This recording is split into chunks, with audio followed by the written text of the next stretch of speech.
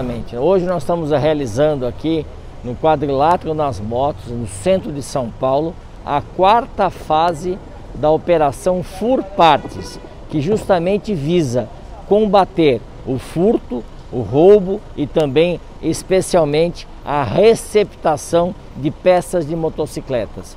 Nós já realizamos o primeiro momento dessa operação já há 15 dias atrás.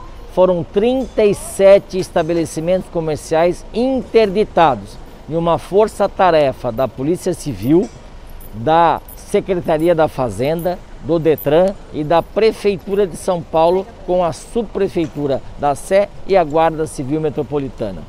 Nesses 37 estabelecimentos interditados, nós aprendemos 60, eu vou repetir, 60 toneladas de peças de motocicletas sem origem, que foram todas apreendidas e serão leiloadas para destruição.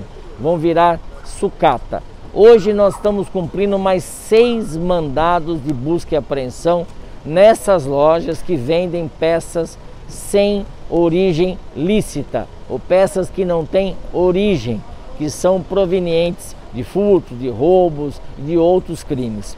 Então, é, é uma ação coordenada da Polícia Civil de São Paulo, da Seccional Centro, do terceiro DP, com o apoio dos órgãos que eu já falei, para reprimir o furto, o roubo indiretamente de motocicletas e diretamente a receptação de motopeças. O mais incrível que acontece aqui, Olain, é que nós sabemos que muita gente que vem aqui comprar uma peça para sua motocicleta, na verdade está colocando a sua própria motocicleta em risco, porque os ladrões podem pegar a própria moto de quem vem aqui comprar peças sem origem.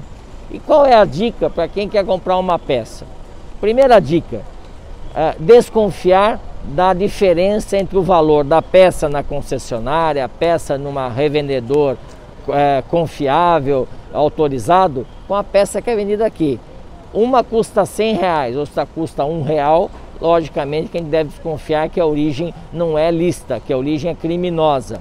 E também é, sempre exigir nota fiscal quando se compra. Aqui a ilegalidade é muito grande, tanto é que nós apreendemos 60 toneladas de peças de motocicletas sem origem alguma, origem criminosa. Então, ah, porque nesse caso é um círculo vicioso.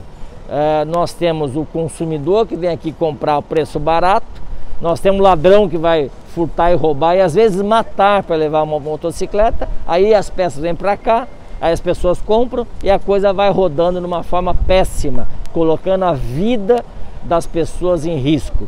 E eu digo sempre também que as peças que nós aprendemos aqui, ou tem um pingo de sangue daquele que morreu quando foi assaltado num latrocínio, num assalto, ou um pingo do suor daquele que trabalhou para comprar sua motocicleta, está com um carnezão desse tamanho em casa, com 60 prestações e tem a sua moto furtada ou roubada, mas o carnê fica lá na gaveta e ele pagando a moto que foi furtada ou roubada. Então isso não é bom para ninguém. É ruim para a polícia, é ruim para a fazenda do estado, é ruim para quem vem comprar peça, é ruim para quem tem motocicleta e mais, é ruim para todo mundo, para a sociedade como um todo. Então nós estamos aqui unidos e a imprensa nos apoiando também, como o Laim, que está aqui conosco, justamente para combater todos esses crimes relacionados a furtos, roubos e também especialmente a receptação de peças de motocicleta.